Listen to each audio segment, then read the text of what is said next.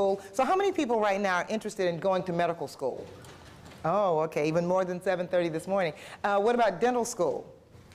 Okay, vet school, okay, pharmacy school, physical therapy. Uh, How many engineering students do we have?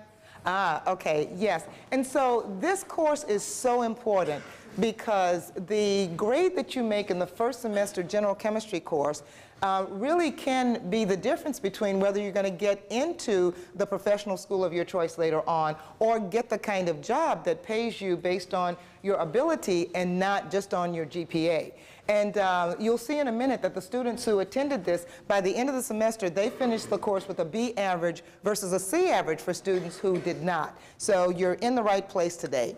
Okay, and uh, the Center for Academic Success actually has been recognized nationally as one of the outstanding learning centers in the nation. We got the Outstanding Learning Center in the Nation award in 2004, 2005. There are about 2,000 learning centers at various kinds of institutions around the country, and each year the national organization picks one to be Outstanding Learning Center, and we got that distinction. And another distinction that we've gotten, there's a national award that is given to institutions and to faculty members who have been outstanding mentors to students who are in science, technology, engineering, or mathematics. And that award is given in the White House, and we got that award in 2006. And the reason that we were able to get that award is because of the way that we've been able to help students to really realize their dreams. And I've got uh, three students up there who were Chem 1201 students, and you can see their first scores, their before scores, and then the scores that they got on exams after hearing the strategies that you're going to hear about today. And so let me just ask everybody, well, during the presentation, I'm going to be asking you a lot of questions. There's really no right or wrong answers to the questions I ask. I just want you to think about it and let me know what you think. But at the 730 class, I asked the class, um, how many of you thought that the exam was difficult? Okay, and this is kind of like 730. Many people said that they didn't think it was all that difficult, but how many people got a score less than your desired score on the test? Okay, yeah, that was pretty much everybody. And so what we're going to talk about is why there's that disconnect and what you can do so that on your next exam you will get the score that you are able to get. And I'm sure that none of these three students thought that they would start out with a 42, a 60, or a 63, but they all ended up with A's. And so the reason I like to come after the first exam is I want you to know that it doesn't really matter what your score on the first exam is. We've had students who made uh, 30 on the first exam and still ended up with a B in the course. And so um, the first student, Robert, 42 straight hundreds, then Christy, 60, 100, 99, 84. And you'll see Blanche actually took a little bit longer to kind of warm up to uh, getting her 100, but 63, 79, 87. And so what we're going to be talking about is those strategies that will allow you to make the same kind of improvement on your next test. And I think I just want to start out by telling you what the most uh, impactful strategy is. And I found, I taught at Cornell University for about uh, 20 years before coming back down to LSU. And it was actually when I was at Cornell that I learned the single most important problem, mistake that most students were making that made them get less on their exam than they thought they understood and that is how they were doing their homework. They were not getting the most out of their homework. And so let me just ask, and I'm going to include myself because unfortunately I was doing this too. Uh, how many of, of you, when you did the homework, you read the problem, and then you flipped back in the chapter to find an example of the problem that you had to work and sort of use the example? Raise your hand if you've ever done that. Ah, okay, yeah, everybody is doing that. Well, the problem with doing that is that would be a great way to do the homework if when we got to the test, we got an example of the test, and then the professor said, and here's examples of the problems that are on the test. But they don't do that. And so what you've got to do is prepare your brain to do the task that it has to do on the test. And so what happens is, when we are looking at the example, were we doing that homework problem?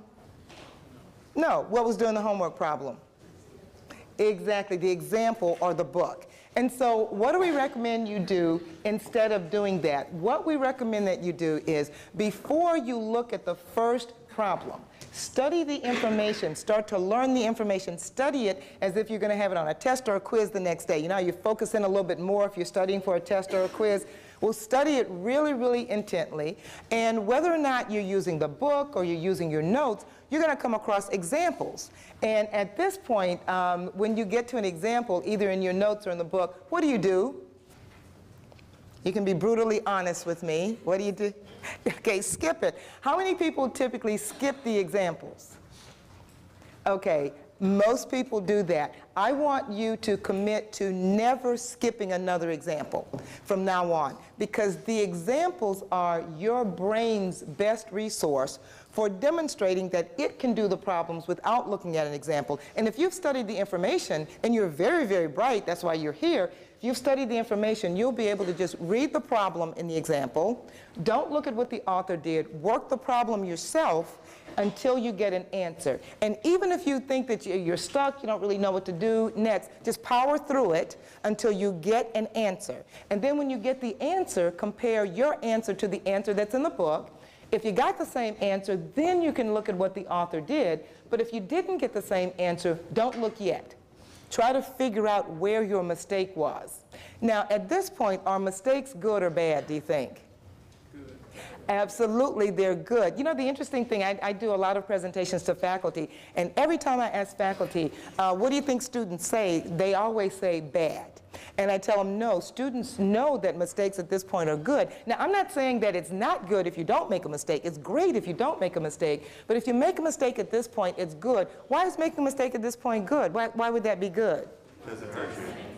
Absolutely. I'm hearing all the, the right things. One, it doesn't hurt you because you don't lose points. Two is if you make the mistake there and correct it, where are you not going to make that same mistake? Absolutely, where it is going to hurt you. And now I've heard a lot of people say, oh, I would have done so much better on that exam, but I just made a lot of careless mistakes. So how many of you have ever gotten an exam back and you saw that you made careless mistakes and you would have done a lot better without the mistake? Okay, that always happens. But what we say is, when you really think about it, there's really no such thing as a careless mistake. Mistakes only look careless in retrospect. Once you know what the right thing is, then the mistake that you made looks careless. But mistakes are things that have to be made. And so if you don't make them during this process and correct it during that process, you are going to make it on the test. And so what we want you to do is study the information, and then when you get to an example, read the example, work the problem till you get an answer, correct your mistakes at that point, and then when you get to the actual homework, do two or three problems without looking at any external aids. And then you can go back and check to make sure that you did all the steps and everything was, was correct. But do you see how what you're doing is you're training your brain to do the task that it has to do on the test? Because now it knows it doesn't need an example. And this is what the, those students did. Now, uh, the other thing that we encourage you to do is not give up too soon. Try to make your brain think of what could I possibly do next. Even if it says I have no idea what to do, then push it a little bit um, because you want to give it time to think, but don't spend too much time on it um, because if you're spending more than 30 minutes on a problem, that, that's too much. So then you can look it up, but then just make a little note that you haven't done that problem by yourself, and then you can come back and, and do that. Okay, and that's the number one strategy. We're going to talk about a lot more, but that's the number one that I wanted to mention to you at first. And uh, we saw earlier examples of individual performance, uh, but this is the the uh, results from when we did this uh, session last year, and you see that the students on the first exam, the students who were here and the students who were not here, had essentially the same score on the first exam. And I talked with Dr. Cook, and I know that the average on the first exam was in the low 70s. But you can see the students who attended went up by about um, six points, and the students who were not here, their average went down. And so by the end of the semester, the students who attended, because they continued to use the strategies during the semester, they had a B average versus a C average. And so I have some outcomes that I'd like for you to get out of our short time together this morning. And one is I really want you to analyze the strategies, the things that you've been doing up to this point in Chem 1201. And I want you to see the difference between what you have been doing and what you need to start doing so that you can make the A on the next test that you're capable of doing. I want you to have very concrete strategies that you'll start implementing very soon and that you'll really commit to yourself that you're going to use those strategies, not just in Chem 1201, but in other courses also. And I want you to become a more efficient learner because very often we get so many students who say, oh, I studied hours and hours and hours, and they still didn't do well. And that just means that they're not studying very efficiently. So we want you to study smarter, not necessarily harder, so that you can still make A's in your courses and have time to do all the fun things, uh, the other fun things uh, at LSU. Okay, so I want to ask a reflection question now, and uh, I want you to think about this. Actually, there are a couple of them. Uh, one is, if I asked you, what's the difference between studying chemistry and learning chemistry? What would you say to that? And then the second question is, if I told you that three weeks from now, we're faced with one of two tasks. We are going to, we will have finished chapters four through six as an exam coming up. And task one, as I say, we, we're going to have this exam and you need to make an A or a B on that test. Nothing lower than a B on that test. The question is for which task would you work harder?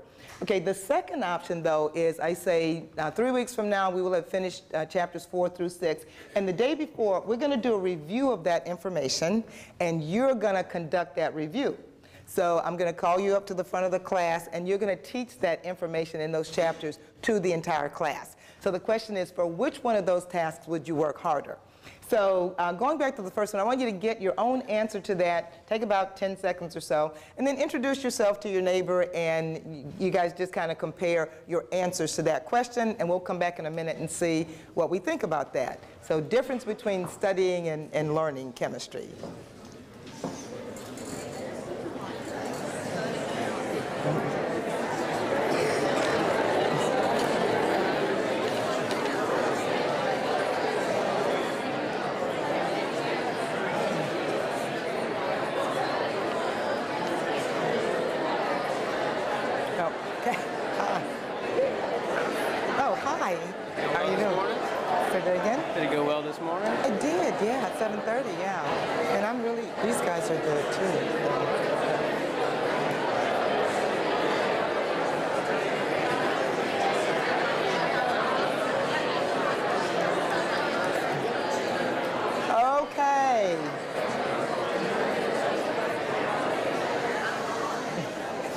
Okay.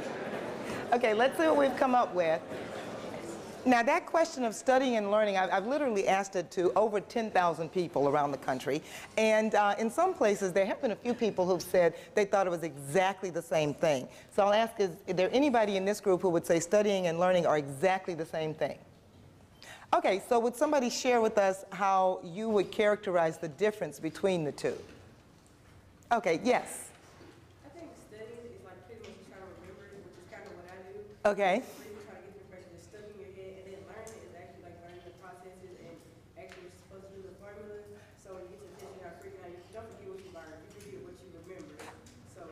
Absolutely. Okay, great answer. She's saying studying is you're trying to kind of get everything in your head to do well on the test, but learning is when you know the processes, you understand what's going on so that it's not going to kind of fly out of your head right after the test. Absolutely. Did anybody else uh, describe it a different way?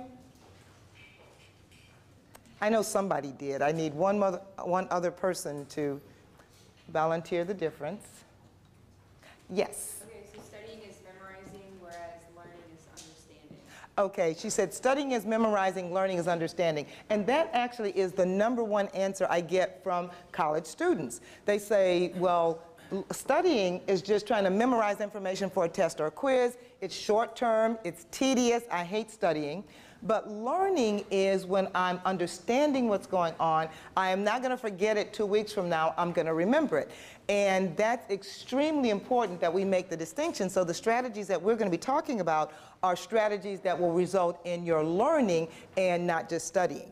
And so for the second one, we can do this by show of hands. How many people would work harder for making a good grade on the test? Okay, how many people would work harder if you had to teach the information?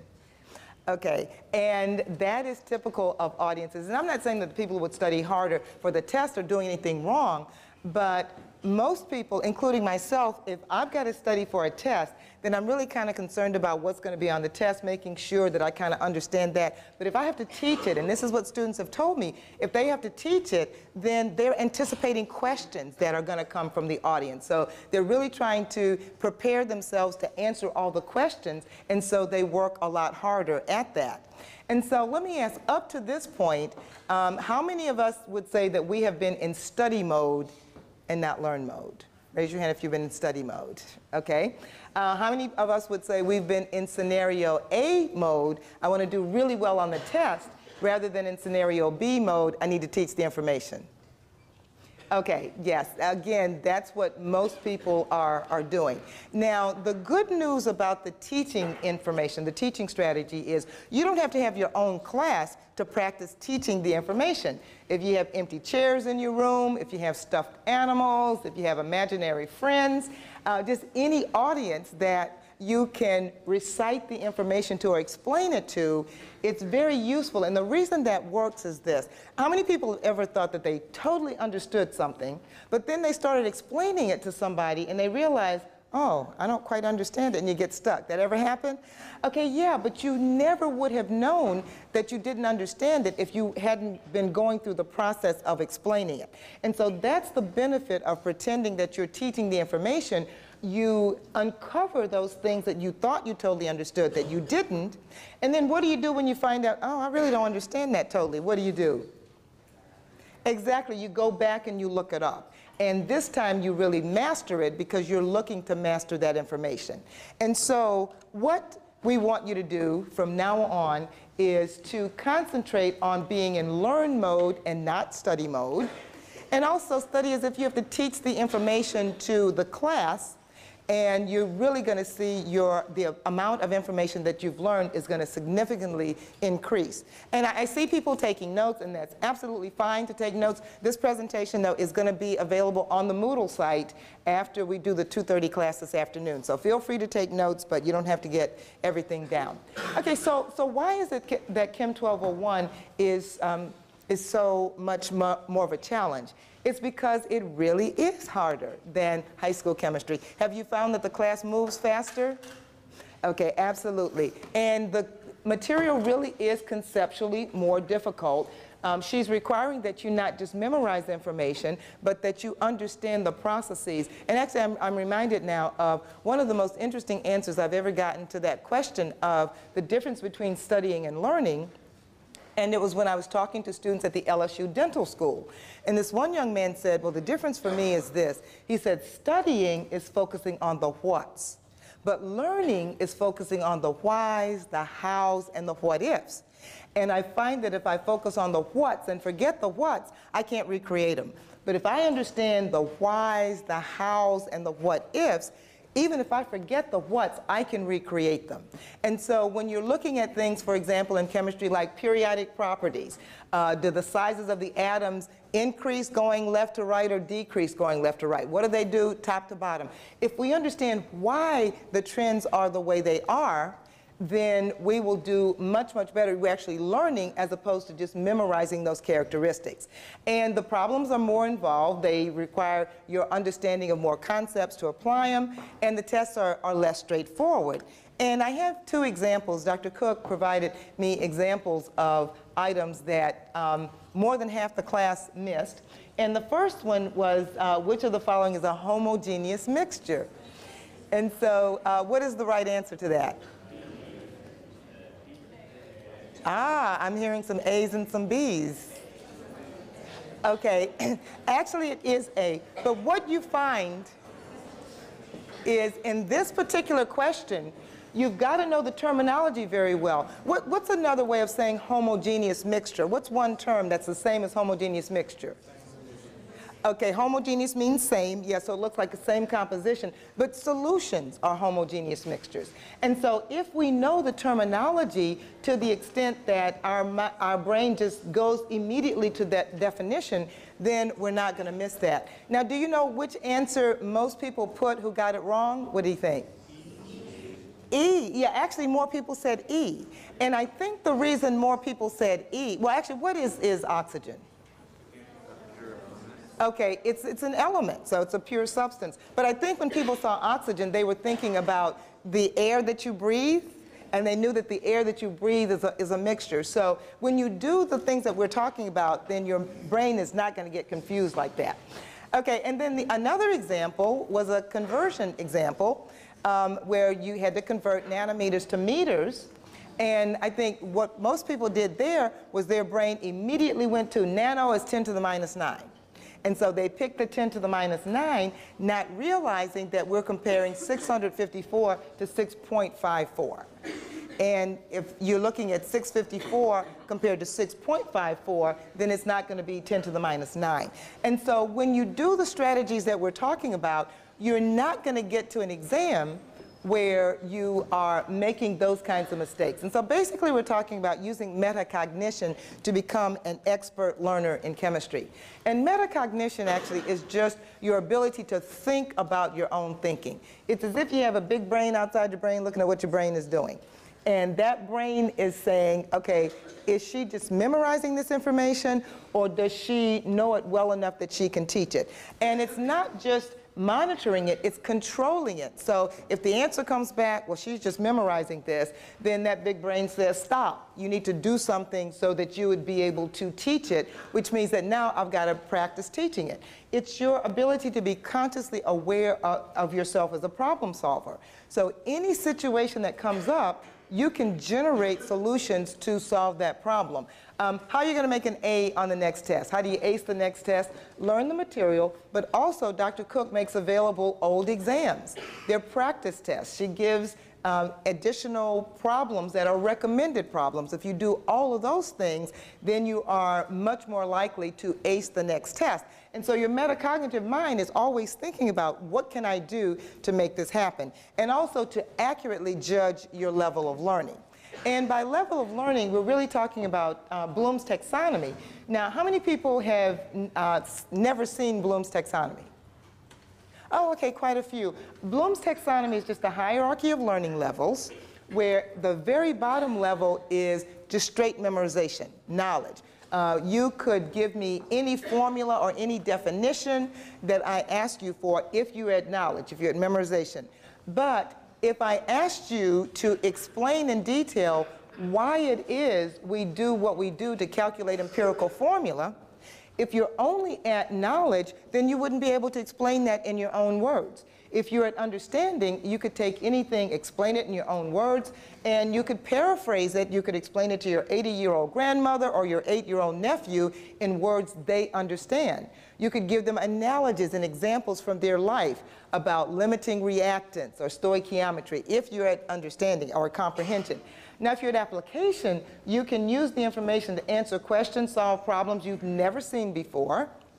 If you're at analysis, which is another step higher, you could take any concept, break it down into simpler concepts. And so if I asked you to come up and give me a three-minute mini lecture on empirical formulas, you could talk to me for three minutes about the uh, calculating empirical formula from percent composition, from carbon dioxide data, exactly why it's called an empirical formula, how it differs from a molecular formula if you're at analysis.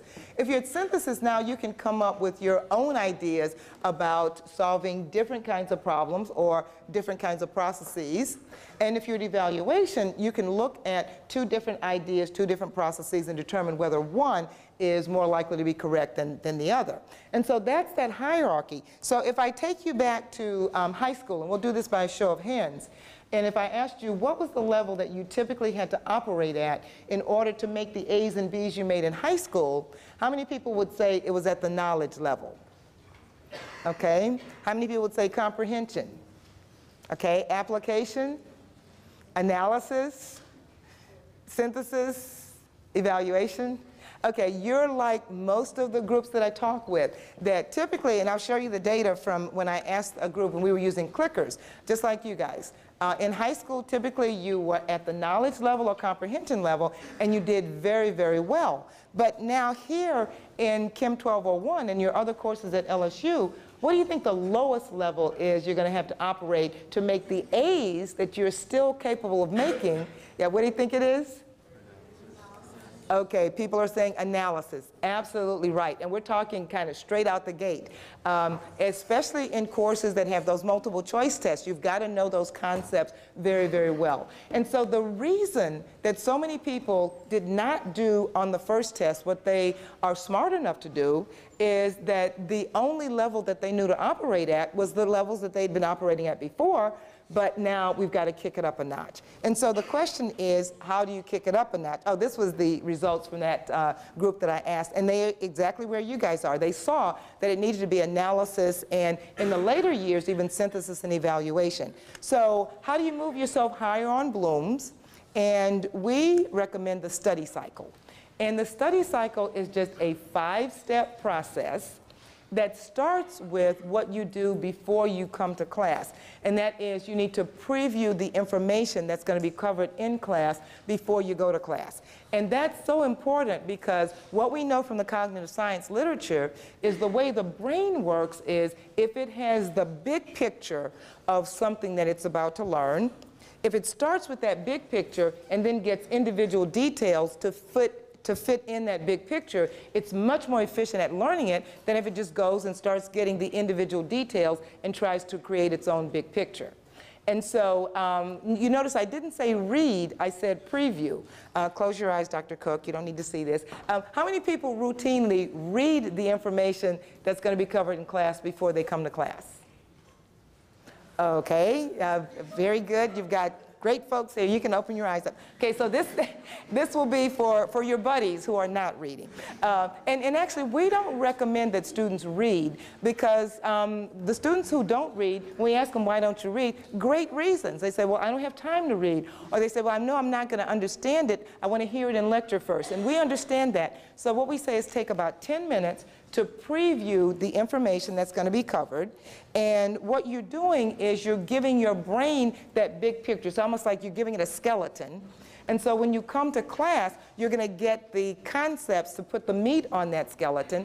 And what our students who've done previewing have told us is they say, wow, lecture makes so much more sense when I do the preview.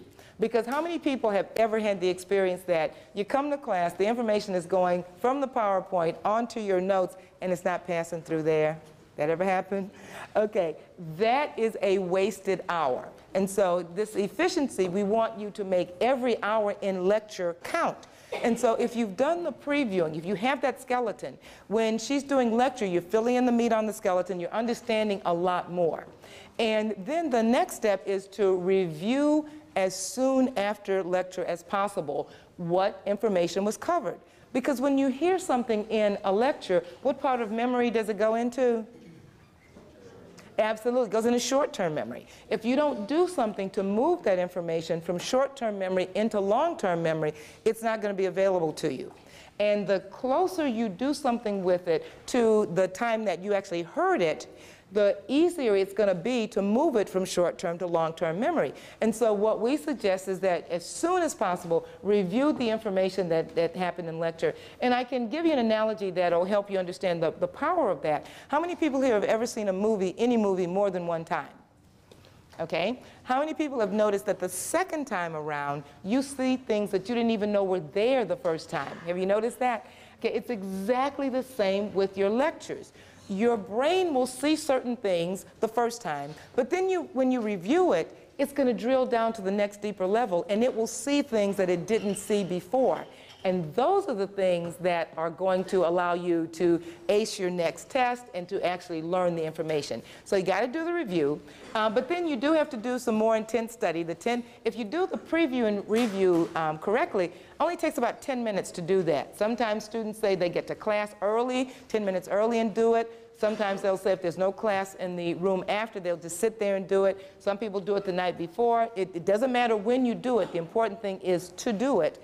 Uh, but you still got to do more intense studying for longer periods of time, and we call those intense study sessions. And we also suggest that you structure those. Uh, some of our students have used this uh, when we ask, well, what was most helpful for you? They call it the power hour. They say, I use that power hour thing.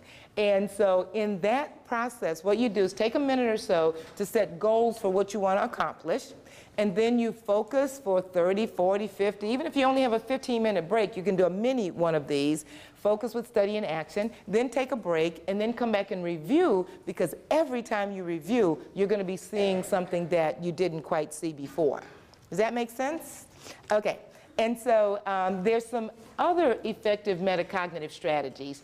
And uh, I, I, put this one first because it's so important. Working the problems without looking at any example of the, the uh, solution because that's going to build up your brain's confidence that it can do that. Uh, you got to memorize everything that you're told to memorize. Uh, so often students, uh, especially things like polyatomic ions or steps to do a certain kind of problem, they intend to memorize the information, but then somehow they might run out of time and they don't actually get to it. But you've got to memorize everything you're told to memorize. Always ask those how, why, and what if questions. Do those mini lectures to the empty chair, to your friends, whomever. Um, but it's also important to try to spend some time on chemistry every day, even if it's only 20 minutes, because you want to keep that very fresh in your mind. Because how many people have to take organic chemistry after general chemistry? Okay, yeah, many people do. And if you're not taking organic, you, most people will take some other course that's going to require that you have remembered these concepts. And so if you spend some time making sure that you've learned the concepts so that they're fresh in your mind, that's really helpful. Use the study cycle. Um, SI, supplemental instruction. How many people have been to an SI session? Okay, most people have, and Runa uh, does those. She was at the 7:30 lecture.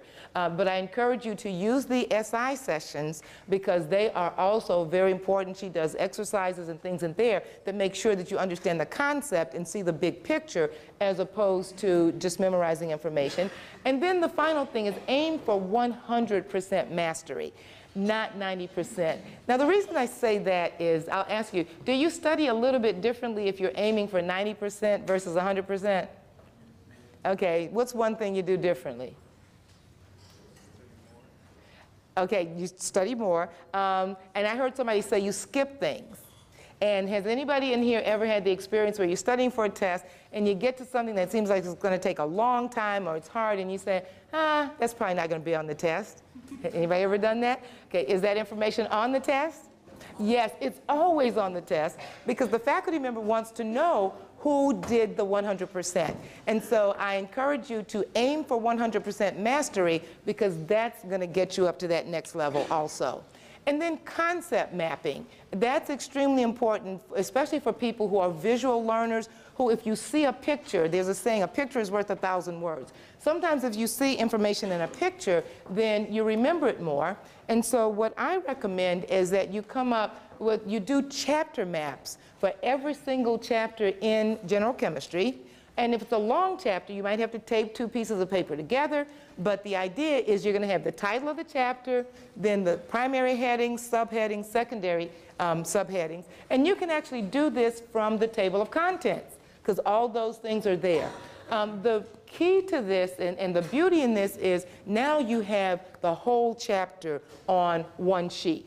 Might be a long sheet. And you can use this as a way to practice reciting or teaching the information. So just randomly pick one. Let's say if we pick this circle and practice giving a three minute mini lecture on that. How does it relate to the circle beside it? How does it relate to the oval above it? How does it relate to the rectangles below it? And so what you're doing is you're making sure that your brain has now the big picture and it sees how these concepts fit together. Does that make sense? Okay, yeah, and so these aren't difficult to do, but they're very important. Um, one also really important um, concept map is, is the uh, compare and contrast maps.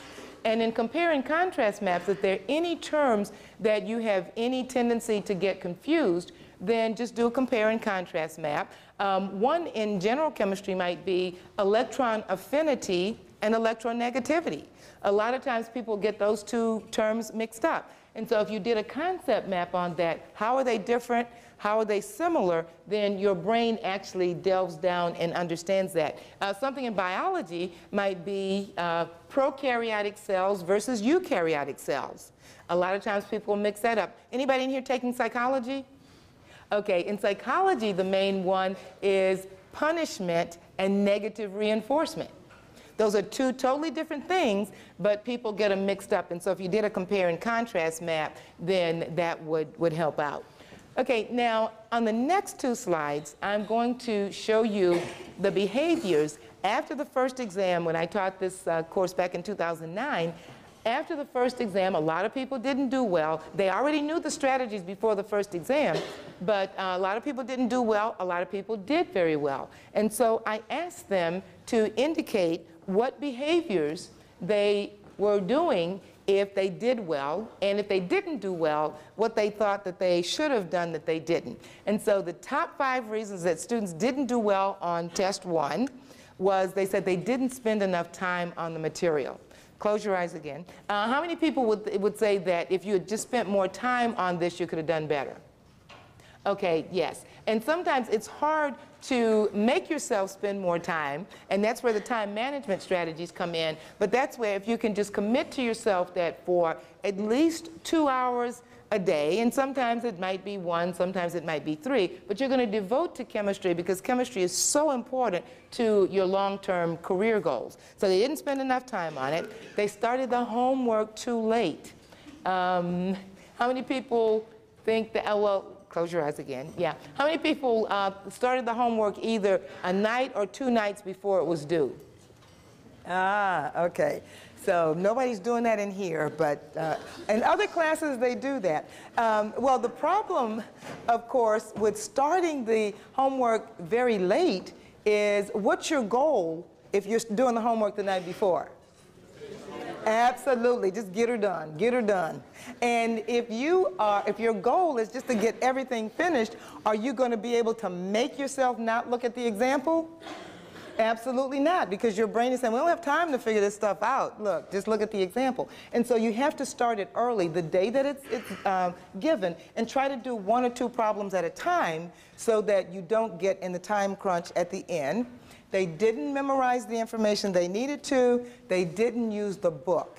And I want to take a minute to talk about the importance of using the book. Uh, I'm sure everybody has the book. Uh, has anybody been in a class, even up to this point where the professor says, ah, you don't really need to use the book. The book is optional, raise your hand. Okay. Uh, do not believe that. I will tell you why faculty say it and why it doesn't work for you. Okay, if I were to write a C, a, a dash, and a T, and I asked you what word pops into your head when you see that, what would you tell me? Cat, okay. Sometimes people say cot, sometimes people say cut. Now the question is, if we lived in a culture that had no cats, and you did not see that word growing up, um, would that word pop into your head? Absolutely not. What we know about the way the brain works is when you see something that, you that your mind is very familiar with, large chunks of it can be left out but your brain automatically fills that stuff in. That's why you can read text messages. That's why you can read those license plates that have a lot of letters left out. And so when the professor sees, oh, what are you supposed to do if you're not going to use the book? What, what do they give you to learn from? Okay, the PowerPoints, yeah, that have, have bullet points. And so since the professor's mind fills in everything other than what's on the bullet points, they think, yeah, everything is there but everything really isn't there. And what the book does, it has so many more words, it has pictures, it has diagrams, because it fills in the part that your brain doesn't have. And so I do want you to start using the book. Everybody who I've worked with who wasn't using the book, when they started to use the book, they said, wow, I cannot believe what a big difference the book you, uh, makes. And so use the book and do those recommended problems and then they said they assumed that they understood information that they had read and reread but had not actually applied. Does that look familiar to anybody? Yeah. Okay, now on the other hand, the top five reasons that people made an A were they said they conscientiously did the preview review for every class. They started the homework early, did a little bit of it at the time. They used the book and did the suggested problems. They made flashcards of the information that they had to memorize. And I, I like recommending flashcards because you can carry those around with you if you're waiting on the bus or in a bank line. You can pull those things out and go over the information. And they practiced explaining the information to other people. and when you do those, you're going to be learning the information to the extent that you need to, to do it. And so I actually have a reprise um, for this homework slide because uh, I actually am involved in projects with other chemistry faculty members in other places around the country. And uh, their students are doing much better also. And they always ask students, you know, what made the difference? And that homework strategy continues to crop up. So make sure that you're doing the homeworks the, the best way. And also, uh, you want to get the most out of the SI sessions, tutorial centers, and even office hours and study groups. And the way to do that is to work on understanding the concept yourself before you go to the tutorial center or before you go to SI. Now, I do know that with the SI attendance, a lot of people went just before the test uh, because they knew it was going to be a review. That's not the best way to use the SI session. You want to go consistently and cover the material as the course is going because everything in chemistry builds on everything else. Come prepared to ask questions and then explain things to the tutor and ask, am I thinking about this the right way or do I need to state it a different way? And so you can use all those resources, but use them in a way that is to your benefit and not your detriment. and so as we come to a close, um, there are lots of Center for Academic Success services that you can avail yourselves of. Um, there are these Go Academic workshops. How many people went to a Go Academic workshop at the beginning of the semester? Ah, just about four or five people. Okay, those slides, I'll show you the uh, website. Those slides actually are on the web. So if you didn't go, go on the website and then you can go through the PowerPoint slides. There are some UExcel workshops for the discipline-specific courses. Uh, there are individual consultations. You can sit down with a learning strategies consultant, and they can talk with you about your specific learning strategies. And we have the Tutorial Center in Middleton, and also the website. Uh, I told you we were named the number one learning center. Our website was named one of the top three websites in the nation for learning centers. And this is what it looks like.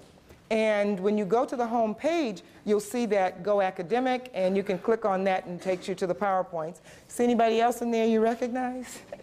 okay, yeah, that's uh, Dr. Cook. and uh, the person in the middle was her SI leader last year. Um, he was outstanding. He won an international SI award. He's in um, optometry school now in Memphis. And so, uh, oh, that's the other thing. For those of you who are going to be doing really well, and now that you have all these great learning strategies, we want to hire you at the Center for Academic Success to become a tutor or become an SI leader. So think in terms of, of doing something like that. Okay, so I have a challenge uh, for this class. And um, based on what happened the last two years, I showed you 2011. Uh, they ended up with a, like a 77, the students who came. The year before was about 76. So I think that you guys can have an 80% average on the next exam. And so let me just ask, how many people uh, believe that this class, if you put these strategies in effect, you could have an 80% average on the next test? Ah, okay. Well, you guys are, are much better than the students at the LSU Dental School, and I'll show you that information in a minute. They didn't think they could do it. But then I asked how many people are willing to try the strategies. Everybody's hand went up, and that's all I needed. So how do I know that you can do this? In 2004, I gave this class to the LSU Dental uh, School students. In their histology course, the averages had been 74 to 78. I challenged that class to make an 85, uh, 84 average on the next test. They didn't think they could do it, but they said they were willing to try. That class ended up with an 85 average. And so what I would like for you to do is, as the writing exercise that you're going to get five points for, we've talked about a lot of different strategies. And so I want you to just pick one or two, if you want to, that you will commit to using until the next exam. Because if you don't start it within the next 48 hours, you probably will never try it. And so write on the paper, write your name and your 8-9 number. Okay, put your name and your 8-9 number and indicate which strategy you want to try. And then as a final note, this is our website address. We also have online workshops. You can determine your learning style. We have workshops on test preparation, all kinds of stuff. And, and so that's the writing exercise that you want to do. Okay, well, thank you very much, and I wish you guys great success in Chem 1201 and throughout the future. Thank you, Dr. McGuire.